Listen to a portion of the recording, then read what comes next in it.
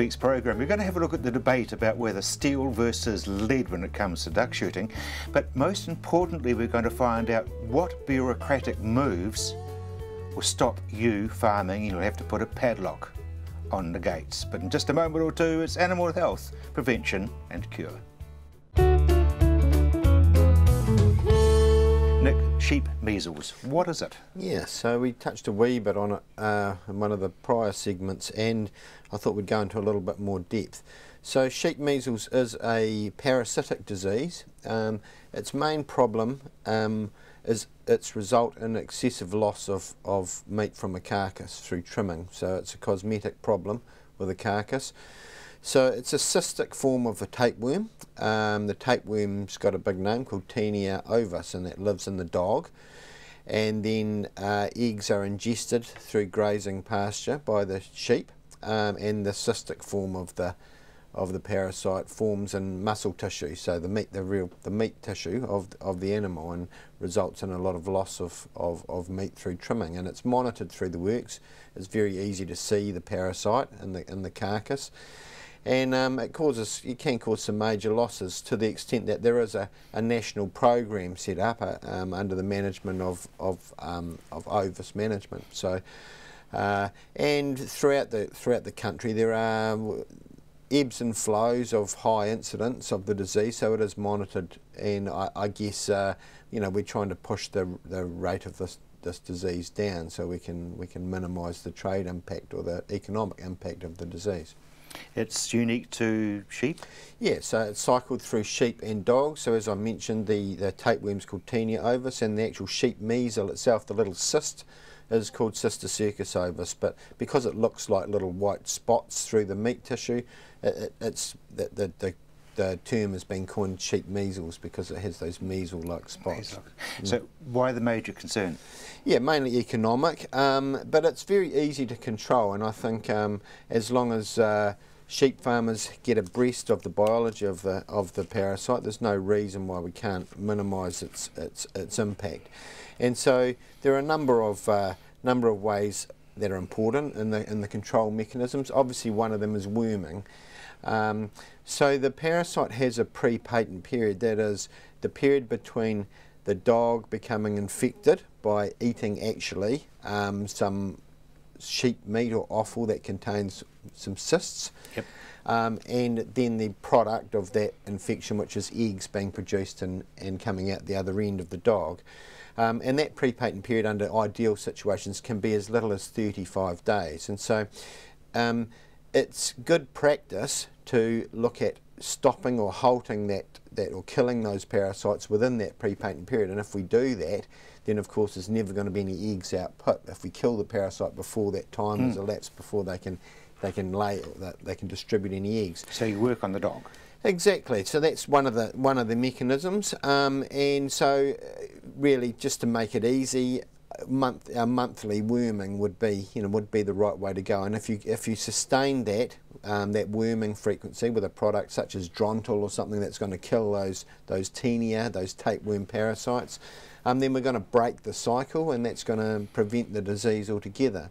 But of course I touched on it just before the other component of, of this is actually dogs getting access to to the sheep measle itself. And so that opens up probably, in my opinion, a bigger uh, and more important aspect rather than reliance on, on medication, and that is control of, of the dog getting access to the, to the cyst.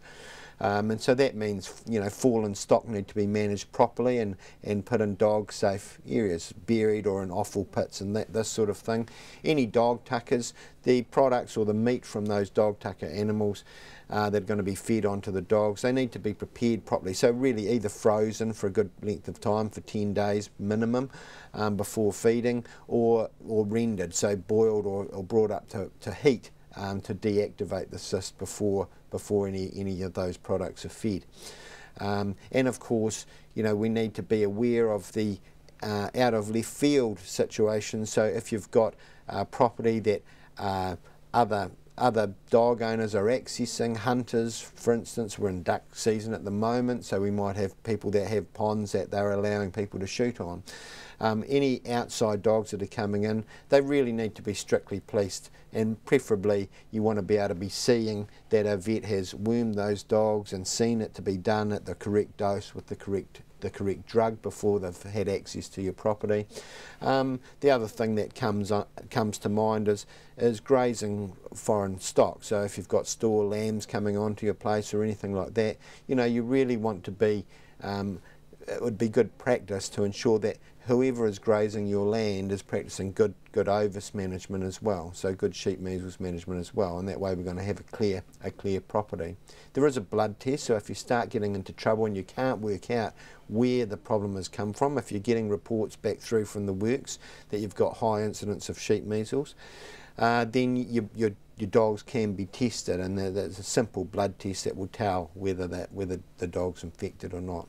Now you mentioned dosing and you mentioned a vet. Mm -hmm. How difficult is it to dose these things? No, very very simple. But I guess the compliance thing, and if you're, it's very easy to assume that lay people um, are worming their dogs with the correct dose and and the the, the medication's going down the hatch, so to speak, and not being spat up. But sometimes that's just not the case. And I guess by bringing a veterinary surgeon into the picture and signing off or authorising that the, that, that, that the job's been done, you can guarantee those simple things are done. That, that one is the correct dose is used for the weight of the dog being treated, and secondly, that the correct drug's being used that is going to definitely kill that tapeworm because not all worming products are the same, and some worming products just won't kill the, the tapeworm itself.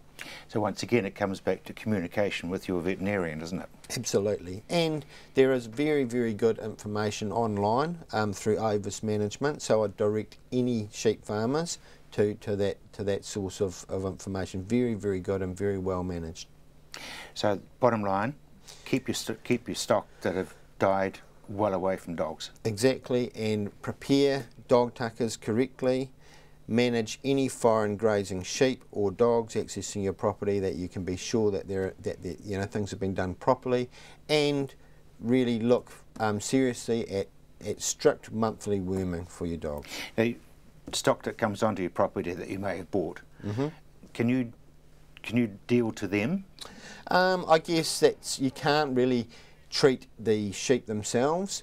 Um, but yeah, if possible, you want to really get a handle that, that the property they've been sourced from has has been has been well managed as far as ovis. Just like a number of other normal infectious or viral diseases that we see in cattle and things, very important to to kind of know the scenario on the source property if possible. But if you're buying from the sale yards?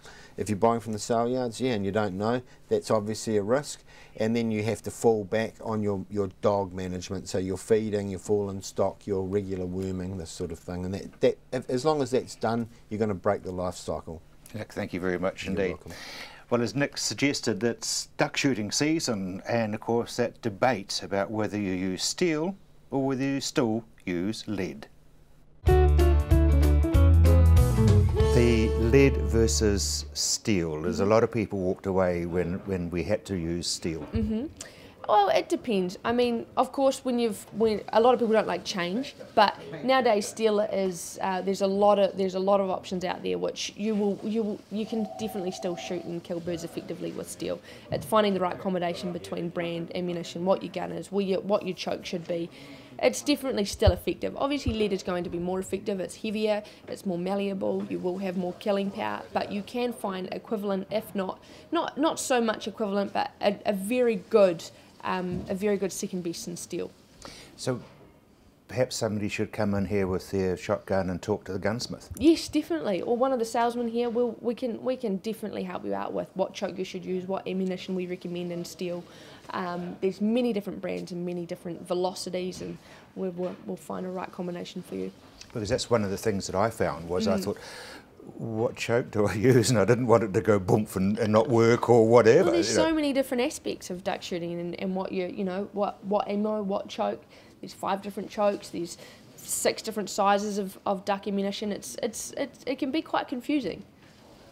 As far as the guns, have they changed very much? You're obviously a, a Beretta fan, but yes, Beretta, Benelli. I mean, I think what we find is that the same brands are, are, are kind of um, sprucing up their models. So the models over the last 20 years have been have been much the same. Now the Beretta A400 with the recoil reducing stock that's come out in probably the last five years. It's a really really great gun.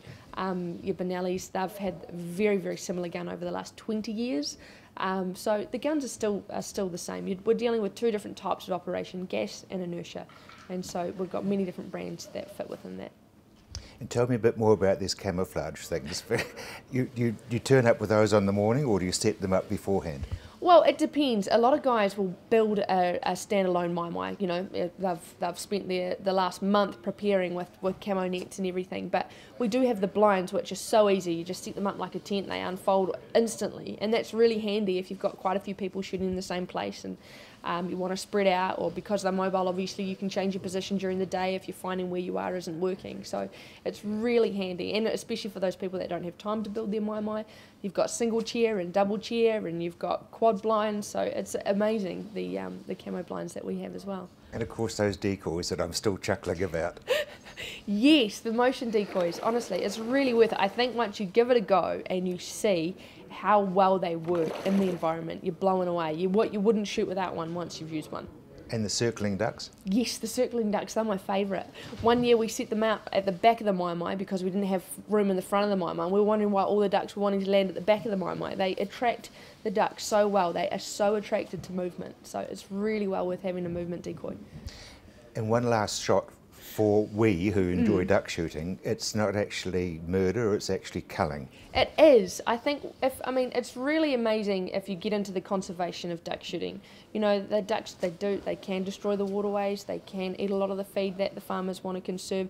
There's a whole lot of things um, that are benefits of, of duck shooting for our environment.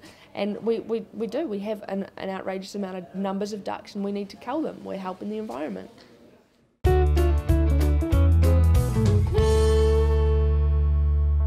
You know that saying, content is king? Well, in today's mixed media world, it's true. You need video, audio, photos, and more for social media, for marketing, for communications, sales, and for advertising. And you need this at a price that works with your budgets. Well, that's what we do. At Tandem, we partner with you to create the content that you can use to shout to the world or video link to a few.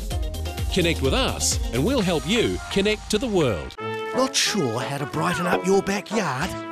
Try Grow Sure Easy Flowers, all in one mix. Seed, feed, mulch. It's bloomin' easy. Be sure with Grow Sure from Kiwi Care.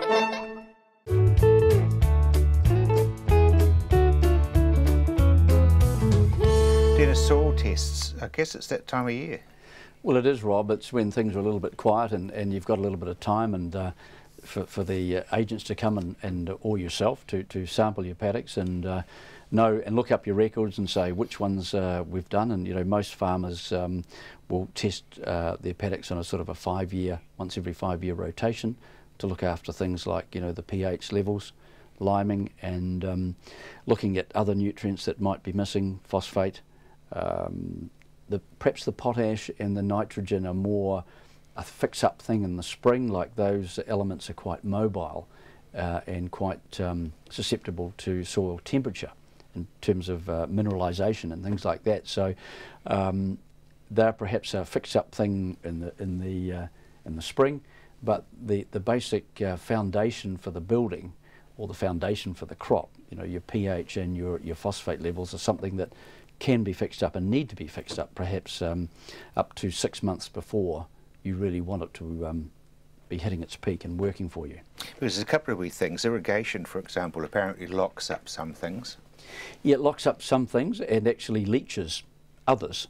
So there's a bit of a disparity, and there's all sorts of things like uh, things like sulfate of ammonia that you use as a nitrogen fertilizer are extremely acid and so they can increase the demand or need for liming, which which is uh, you know alkaline and, and, and base, and, and so the base and the alkaline, what you use, can affect how often you should be testing and and putting um, things like lime on. Well, you yeah. said five years, but do you reckon you should do it more often than that?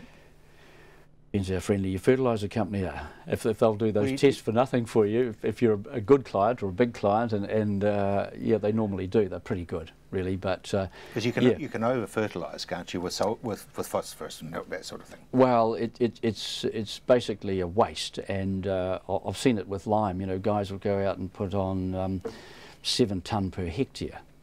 Well, it takes about um, a year to move your your um, your pH about 0.1 with about one ton. So, if you want to put a whole lot of hundred dollar notes out in the paddock there for a few years and just not have them work for you, if your cash flow's that good and you want to hide some money, put on some capital fertiliser that's not working for you or not needed, basically. Yeah, I don't think too many of them out there would actually be ready to waste money, but No, so so it tends to be sort of um, yes, perhaps a little and often, and, and maybe that should flow into the soil testing as well. the other thing, Dennis, I guess is, and, and you'll be aware of this, is that different crops have different demands. Oh, absolutely. Um, you know, crops like radish, uh, huge um, potash requirements. Uh, things like wheat. Um, an English specialist said to us, he talked about fresh phosphate, and I thought this is a bit different because we have phosphate locked up in the soil, which can be released by the uh, addition of lime. Uh, to make it available, and I wouldn't call that fresh phosphate. That's probably old phosphate. It could be 70 years old, that phosphate. well, it could be. It could have been locked up there for a long time. Um, but certainly, this English specialist talked about fresh phosphate, and, and I listened to that intently. And with growing wheat, put on something like um, 300 kgs per hectare of, of superphosphate. And people have stopped using superphosphate because it's, it's, it's an old fashioned virtually two elements, a bit of bit of sulfur and a bit of phosphate in it. Um, it's not as sexy or exciting as uh, some of the blends that are used out there now, which have um, seen as a sort of a one-hit wonder, boof. But certainly, I, I, I, I believe I saw a very good response to that superphosphate, which was relatively cheap per hectare, and I think we've forgotten about it. A It's little the old story. If you go- back to what your grandfather did, I mean, cleaning windows with vinegar or with methylated spirits rather than some fancy expensive stuff. you know, Yep. Same sort of thing. Well, the old boys used to drill their wheat with um, a hundredweight of superphosphate per acre.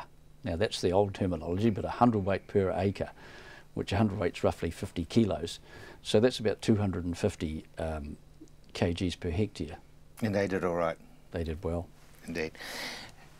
You've talked about malting barley uh, and demand and people not so. How, where are we at? Well, things have changed. You know, we're all drinking more wine and less beer. Although there's a movement for the craft beers, people There coming back a very really strong one. very strong movement, and so gradually the mainstream um, production of beer and the consumption of beer have gone back, and wine's gone up. We all know that. So the beer consumption's gone down to a very low base, and uh, some surpluses now have been cleared out, and so the prospects for the requirements for malting barley are on the up and up, and the forecast is for something like about a 14% increase. So I know one company, Malteurop, have cleaned out their surpluses, so they'll be looking for um, greater supplies, and, and other people, the craft beer people, they're uh, getting in on the act. So it's on the up and up, and let's just hope the price is on the up and up because it needs to be, because it is quite a specialist crop to grow. It's not like growing feed barley, quite different. What it is, you've got to have your proteins down and all that sort of thing for that sort of carry on. Absolutely, and, and historically those um, malting varieties that are suitable for malting have been a little bit behind in the um, in the yield stakes as well. New plantings, now they're pretty susceptible. Yes, well we're we're looking at uh, new plantings of um, your your hedgerows and shelter belts and things like that. And let's face it, with the uh, with the centre pivots and so forth, um, the the guys have been clearing out trees, and, and the Canterbury Plains are almost like uh, where's the next tree? You can't see it. but quite a few farmers are actually uh, planting some lower growing hedges just to, to break that uh, a little bit of shelter for stock and, and to break some of that wind and so forth. And of course, we know the centre pivots can just go over the top. But this time of year, grass weeds, especially grass weeds, um, you can put on some residual herbicides that will keep that area clear around the base of those um, those plants and give them a fair old go because you pay big money for uh, ornamental plantings or even native plantings. Yeah. You're big into radish. What are some of the, the pitfalls with disease in mind? Well, one of the challenges, Rob, is, is um, seasonal fluctuations, and and uh, we do things like fertilise radish, we irrigate radish, and sometimes we cause some problems. And we with with with moisture, things like downy mildew, things like um, bacterial soft rot, um, things like alternaria, those sorts of diseases can be exacerbated by too much water. We can also be uh, affecting the bees because bees do not operate on wet days or when the crop is wet. And so if you keep using things like centre pivots and you're going back there with a little bit of water, but you're, you're keeping that crop wet and keeping the bees out of it. And so it, it appears as if less water, um, but no, less frequent irrigation, but higher volumes when you do might be helping the bees. But white rust, white blister rust, is a major and there's some very good work being done by FAR uh, on that and you might hear some about that in the future.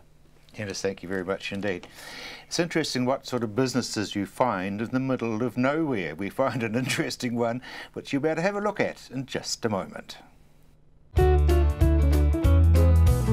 must confess that driving around Christchurch I see a lot of very small children on scooters heading off to school or heading off to wherever they're heading off to but I had no idea that scooters is actually an international sport. Chris, how big is it in the world? Uh, it's, it's still a small sport, um, but it's a growing sport.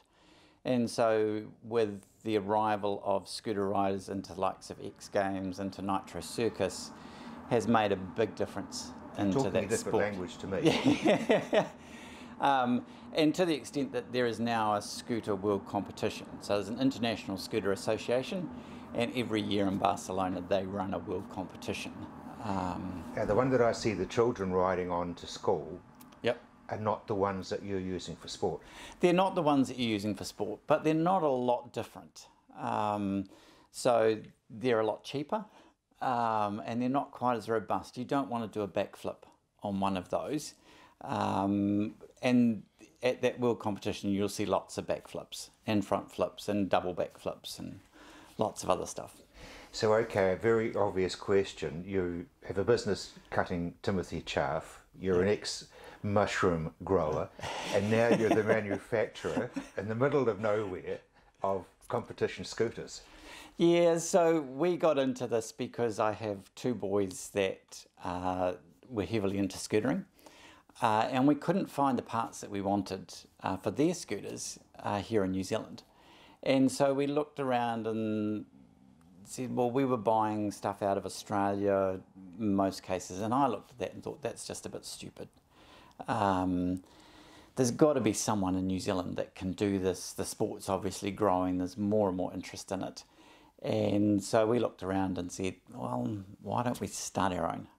And uh, so one thing led to another. We actually bought an existing business uh, that was the lady had finished with, and uh, we went from there. It's the Kiwi way. It's the Kiwi way, and uh, yeah, we're now one of the leading. We're probably the leading uh, retailer of scooter parts in the country, particularly in terms of specialist scooter parts. Um, so we do the serious stuff. Um, so we can do custom builds. Uh, we sponsor New Zealand's best and second best riders. Uh, they buy all their parts through us um, for their scooters. So are you manufacturing these bits? So we don't manufacture them. We buy them in um, from the leading brands across the world. Uh, so we stock Apex, which is the leading park brand, um, but we also bring stuff out of um, America. We do the Youth Gone Wild, which are becoming really popular. Uh, we do a lot of Envy products. Um, all of the leading brands we've pretty much got. Now, you said internationally. Is there an international competition? Yes, there is. So, New Zealand fits in as part of the Australasian competition. So, we sit as part of that. The winner of the New Zealand competition, which was held in January this year at Washington Skate Park, the winner of that competition gets automatic entry into the world competition in Barcelona in June or July this year. Um, and then the, the five other top places get a chance to compete in Australia.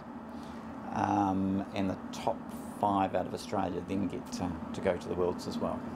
So we'll be looking at it as an Olympic sport in about 15 years, I suppose. Well, skateboarding's just been accepted into as an exhibition sport into the Olympics. Uh, I think it's the next Olympics, um, and there's no reason why scootering couldn't be there. The, the only thing that's stopping scootering, I think, is the fact that it's just a new sport. Um, you know, if you go back probably 10 years ago, scootering was for the kids that couldn't ride a skateboard um, because we couldn't balance on it. And I was one of those kids, I could never get the balance right. Um, nowadays, when you go to the skate park, there's probably more kids riding scooters than there are skateboards. And when you look at the range of tricks that you can do on a scooter uh, versus a skateboard, the range is far, far greater. Uh, I have yet to see too many people doing backflips on skateboards. I guess for my age group, it's like skiers suddenly having to accept snowboarders. Exactly. Yeah, it is. It's exactly the same thing, and it's probably the same with water skiers and wakeboarders. Um, it's just that, that evolution of what you can now do and, and where those sports are going. So you can run a business like this in the middle of nowhere. Yeah, so we uh, we do a lot of our business through the web, uh, but we also have a mobile shop uh, which we take into Christchurch uh, every weekend, so Saturdays and Sundays. Uh, we're on Washington Way, um, and yeah, we do a lot of business through there. The Kiwi marketing. The Kiwi marketing, um, and it, uh, you know, I guess that for us, because we're we're a, a niche retailer, um, we had to and look wholesaler. at do, and and wholesaler. We we had to find different ways of doing it um, and the traditional bricks and mortar shop doesn't work. Um, most of our retail business is done on a Saturday and Sunday. If we had a retail shop Monday to Friday, it would be empty um, of customers. So social media, Chris, is basically your main marketing So social media is our pretty much our main marketing tool, um, and that's why we sponsor New Zealand's leading riders um, because they have a big social media following. And it's Scooter Um, Bitz. It's Scooter Bitz, B I T Z on the end. Um, and we also work with, um, so New Zealand has one of the biggest YouTube uh, scooter channels um, in the country, and it's based here in Christchurch. Um, and so we work with Scooter Brad uh, in terms of just growing the entire sport um, of scootering across the country.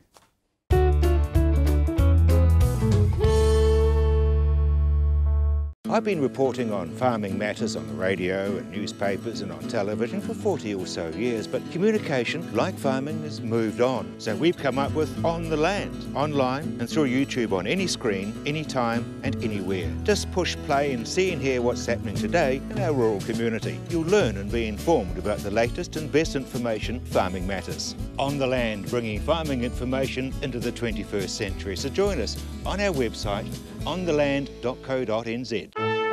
Not sure why your camellias aren't cooperating? Try Grow Sure Planting Magic, packed full of nutrients in just one handful. Be sure with Grow Sure from Kiwi Care.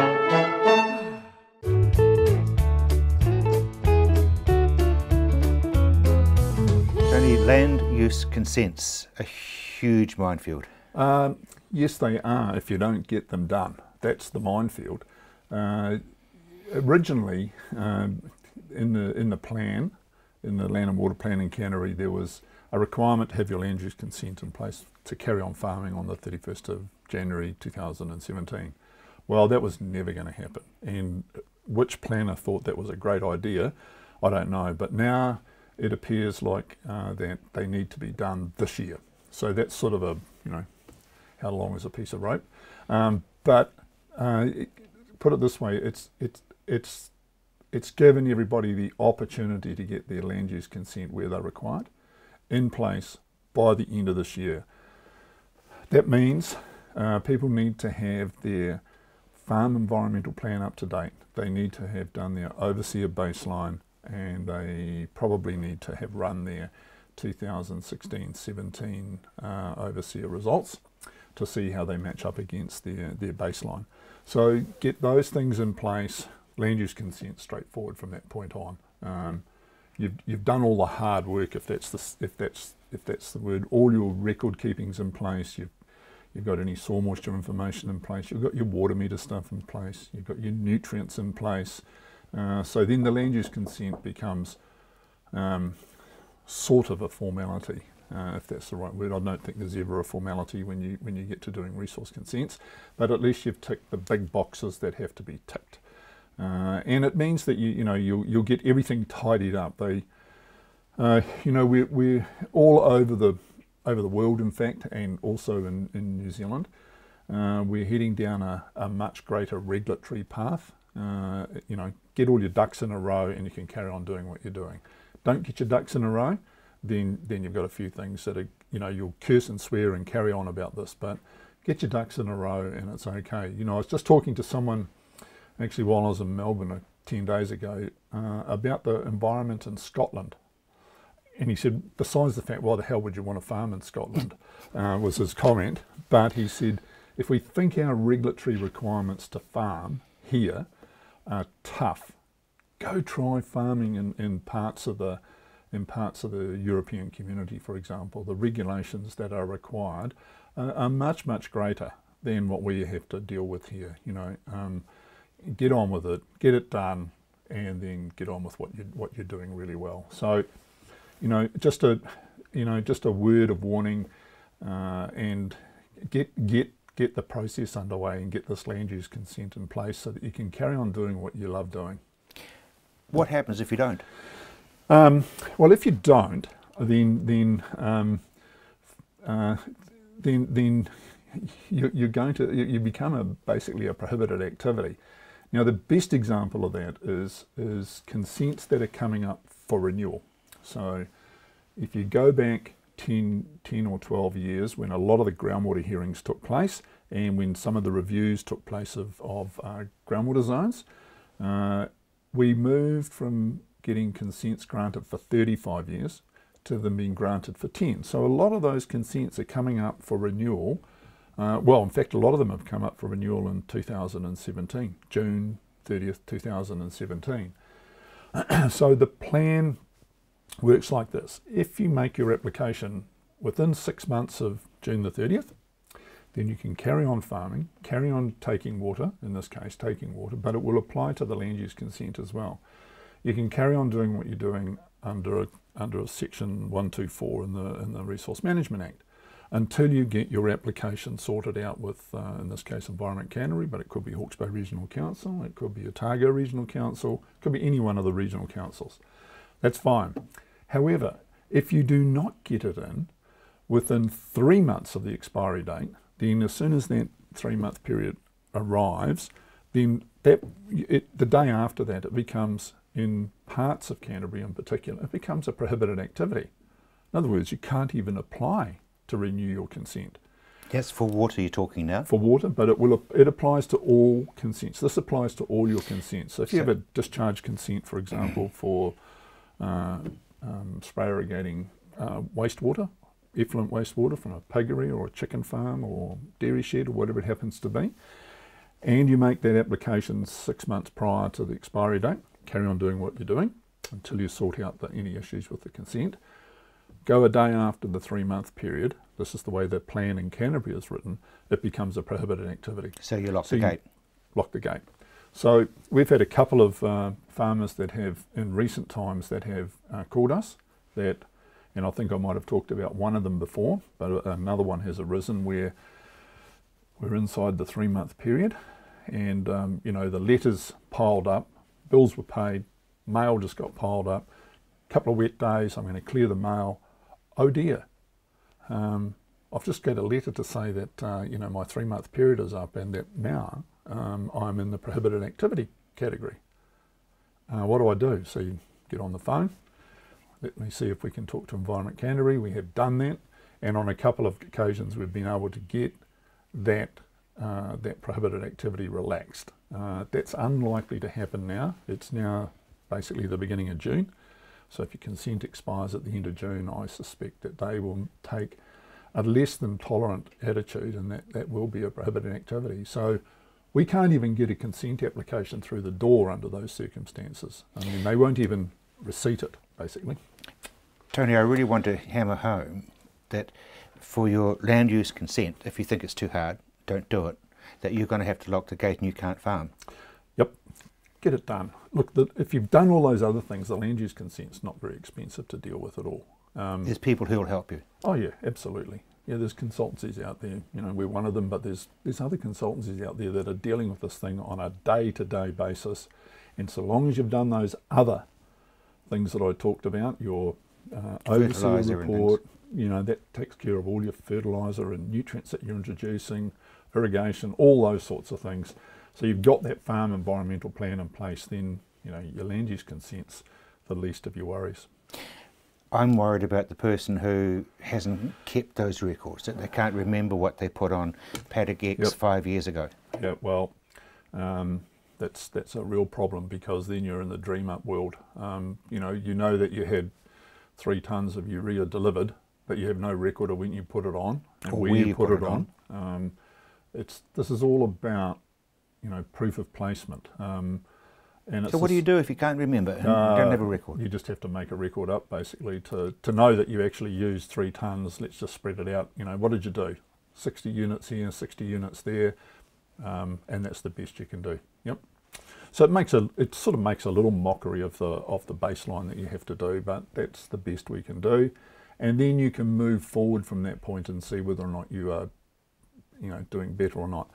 Look, the the large majority, um, maybe 50%, 60% of farmers, they have, they have a pretty good record. And if they don't have a pretty good record, then you can go to the fertiliser company, you can go to Ballance or, or uh, Ravensdown and find out how much you actually purchased and when you purchased it. Uh, unless you're spreading your own, um, those that are spreading their own have got proof of placement. They know where they put it, when they put it. Uh, you know, they're, they're the It'll really be in their diary. It'll be in their diary, or else these days probably for, for, a lot of farmers for the last four or five years, it will be recorded on their on their um, on their GPS system where they put it and when they put it on yeah. there and which runs they put it on and that sort of thing. Um, but if you've got a contractor that did it, they will have a record of when they came to your property and what they spread. It might not be exactly precise, but at least it's a starting point. And and this is about, in a way, it's about the starting point, making sure that everybody keeps really good records of what they do and when they did it. Tony, thank you very much indeed. Just a moment or two, we're going to be talking to Chloe Tipple again, but not about duck shooting, but about her career as a professional sports person. Back from overseas, representing New Zealand at trap shooting. Yes, that's correct. Skeet shooting. Skeet, shooting. shooting. What's yeah. the difference? So trap was a clay. They're both clay target shooting, but trap goes away from you. Skeet crosses from you. So six one half dozen the other. They're, they're both the same thing, but different. How big is it as a sport as far around the world? Around the world, it's huge. It's really, really big. I mean, you go to a World Cup, and in my event, I'm competing against 60 to 70 different women. Um, there's there's a 150 men competing in the same event. So the World Cups and the World Championships is a, is a very, very big event. It's huge. So how did you get into it? I mean, obviously Dad's got a gun shop. well, I got into down the line shooting or claybird shooting when I was at high school here, and I kind of got as far as I could go. And the Commonwealth Games was always a dream, or the Olympics was always a dream, but I had to change discipline in order to go. So that's pretty much how I got into it. After um, after reaching as far as I could go within New Zealand, I went to the next level and went to the Olympic disciplines. Why is it not big in New Zealand? It seems to be very low key. In Europe and overseas, they generally start on the Olympic disciplines. Here in New Zealand, we start on down the line or American skeet, which is more, I would say, the American disciplines. So slightly easier, slightly slower targets. Um, it's it's just how we've done it from the beginning. So I guess because they've the Europeans have done it the Olympic disciplines from the beginning, it's what we know. So it's a lot harder to get into the Olympic disciplines because generally the clay targets are faster. So it's a, it's a harder discipline to get into, and a lot of shooters when they try it can get discouraged or because there's not a lot of competitions that are Olympic discipline within New Zealand, it's just there's uh, there's no interest because there's not it's not as big. It's just not as big. Well, you're in the top numbers around the world. What's your secret to hitting either a bird or or a clay bird? keep the gun moving. um, driving the barrel, it's it's honestly all about being the same speed as your target. If you can get your barrel moving the same speed as the target, generally you're on the right track. A lot of people have difficulty; they'll stop their gun or they'll do lots of different things. But my secret, I suppose, is is the relation between my barrel and the target is always the same. People should go to a gun club and learn from those that are good at it. I believe so. I think it's really helpful. Everybody will learn something different. I mean, of course, you're going to hear so many different disciplines about what gun you should use or, or what ammunition you should use or this is how you should shoot, this is how, this is what you should do. But I think if you expose yourself to many different types or many different opinions, then you'll obviously form your own opinion. And it's experience. If you get out there and do it yourself, if you go and learn from somebody else who's done it for 40 years, you're going to get all kinds of different opinions and it'll help you learn. So it's mileage. Yeah, definitely. Absolutely, for sure. What's your favourite gun? My favourite gun, well, in semi-automatic shotguns, which I'll use for clay target shooting. Uh, sorry, for duck for duck season, I'll use a Beretta A400, um, and they're an amazing gun. Got a kick-off recoil reducing system, really beautiful to shoot. You can shoot all day and not know you've pulled the trigger. They're an incredible gun. And for competition? for competition, I use a Beretta DT11.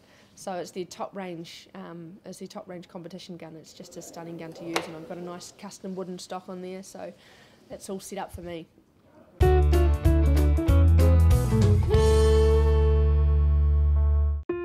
We're living on a planet facing almost insurmountable challenges.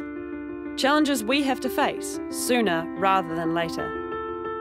The world needs our energy. She needs our ideas, our passion. It's up to us to change things, make a positive change to the planet, to feed the world, to protect the future, to live well, to be the generation that will make a change. Join us.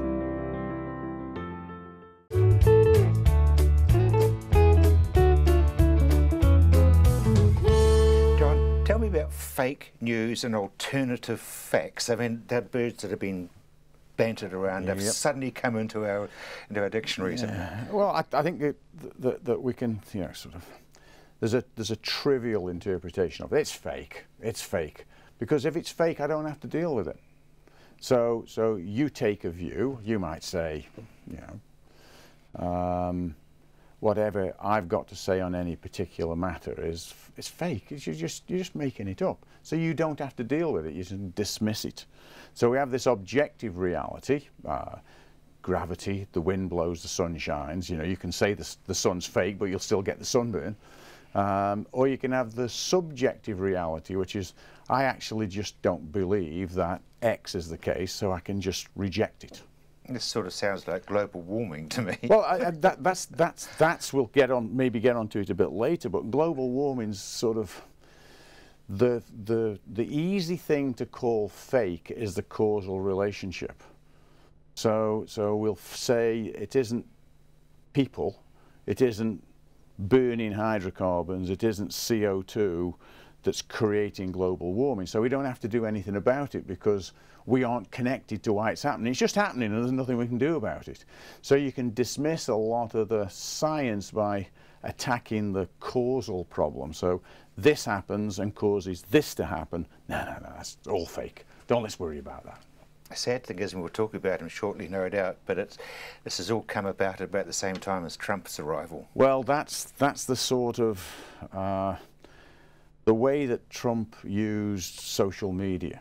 So we've now got these Twitter bots and and bots on Facebook that talk to people of certain profiles who who are feeling probably very legitimately hard done to.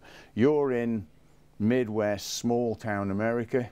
The factory that kept the, the town alive has closed. It's no longer there. The promise of the world for the people there is sort of crumbling. The house or the property they've got becomes worth less because there's no call for the jobs. You know, there's, there's, there's echoes of this around New Zealand, and particularly rural New Zealand. And so, so it's easy to say to those people, things are bad because of, you know, the Chinese took our jobs. Well, maybe, might be a different way that the owners of the companies chased the lowest uh, production price and went to China. The Chinese didn't steal anything. It's back to that causal. What caused it to happen? What was the driver behind that? So you can get angry at the Chinese, but you're not getting angry at the probably the, the right people to focus on. Okay, post-truth. Well, that's the we are now having, it's fake news, the argument, why, why do you want to investigate Russian ties? There aren't any. So why do you want to, uh, why, why do you want to investigate it? So Mr. Comey, you know, let Mr. Flynn off. Oh, maybe not. Okay, we'll just fire you. Because again, that issue is, I don't think there's a problem, so there isn't a problem. And for the people who are in that echo chamber, they see the comment that there isn't a problem as almost an act of faith. You know, we think about religion. On this side of an act of faith, you're looking for objective evidence for religion. On the other side of an active faith, you don't need objective evidence because you've gone through that, that transition. And for a lot of some groups in politics, we've gone through the act of faith. So whatever an individual says is what really is the fact. And so Trump says fake news. Trump talks about complete rubbish. And for some people, it's true. But then you go, we've got a, a worry about terrorism. Terrorists are Muslims. Therefore, all Muslims are terrorists. Therefore, ban the Muslims. That sort of logic process drives people to the post-truth world, which is when I distort reality enough, it becomes the new reality. This is Hitler and the Jews. It could well be. I mean, that's a, another extreme version of we have a problem, that particular group is the problem, now we have to deal with that particular group, and the excesses get greater and greater and greater. And remember with Hitler, the early part of the 30s, it was all happening and people were saying, oh, it won't be that bad. It's not really that bad. A lot of the echoes are what we hear around our friend Trump. Mm. Winston Churchill just fell on deaf ears. He mm -hmm. said it's going to be a That's problem. Right. No one would. No one uh, he was, he was not alone, but he was in the minority for a long time pointing to the problem. Mm. So, rumours and this is a sort of the scuttlebutt, you know, that, that, that so-and-so is doing this or doing that, and all of a sudden it becomes... Oh, the, the, the, the, the, um, the guy shows up with a gun at a pizza parlour somewhere on the, west, on the east coast because it's in the rumour mill that Hillary Clinton's running a child pornography group out of this pizza place. And it's, it's, it is that, that on the distribution, there are some people that will literally believe almost anything. And people who've half heard what you've just said will go, really? Well, I hope not. I hope not.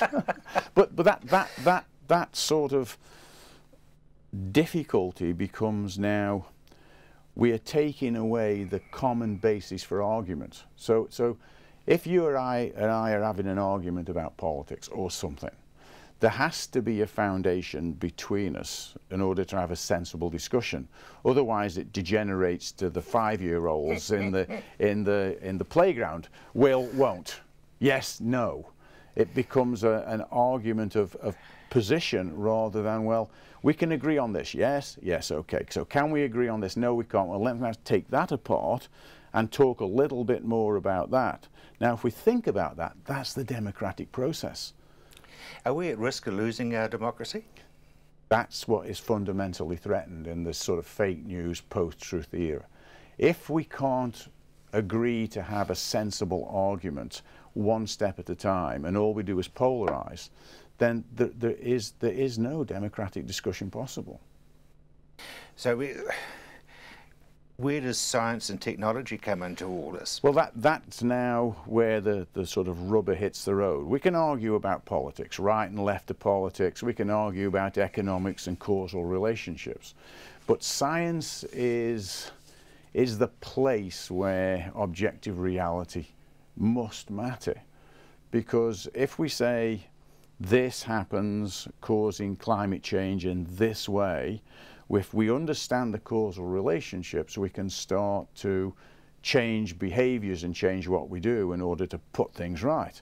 But if we don't understand the relationships, well, we don't, or, or, or completely reject the relationships, we don't have to do anything and we can turn on the Keystone pipeline, we can drill more oil, we can run bigger, we can do all those things which you might do differently if you recognize that doing this leads to climate change. Climate change is a problem for a lot of people, including a lot of Americans, and it will need to be dealt with sooner rather than later. It's the old asteroid problem. If you give it a push when it's a long way out, you don't have to push it really hard when it's just about to collapse into the planet. Very briefly, how do you get around the fact that some people love Holdens and some people love Fords and you'll never get them to drive either? And that's you know fine. And that, at, at, at one level, not, not a worry. You take your view, but the people who show no particular bias towards Holden or to Ford can make a legitimate, balanced decision. Yep. What you can't do is, is apply that polarisation to everybody. Thank you very much indeed. Now, if you'd like to recap on what John's just been saying, you can go to our website, which is ontheland.co.nz. I'm Rob Cope Williams. You've either been watching or you've just missed the program, but I will be back at the same time next week. Until then, bye now.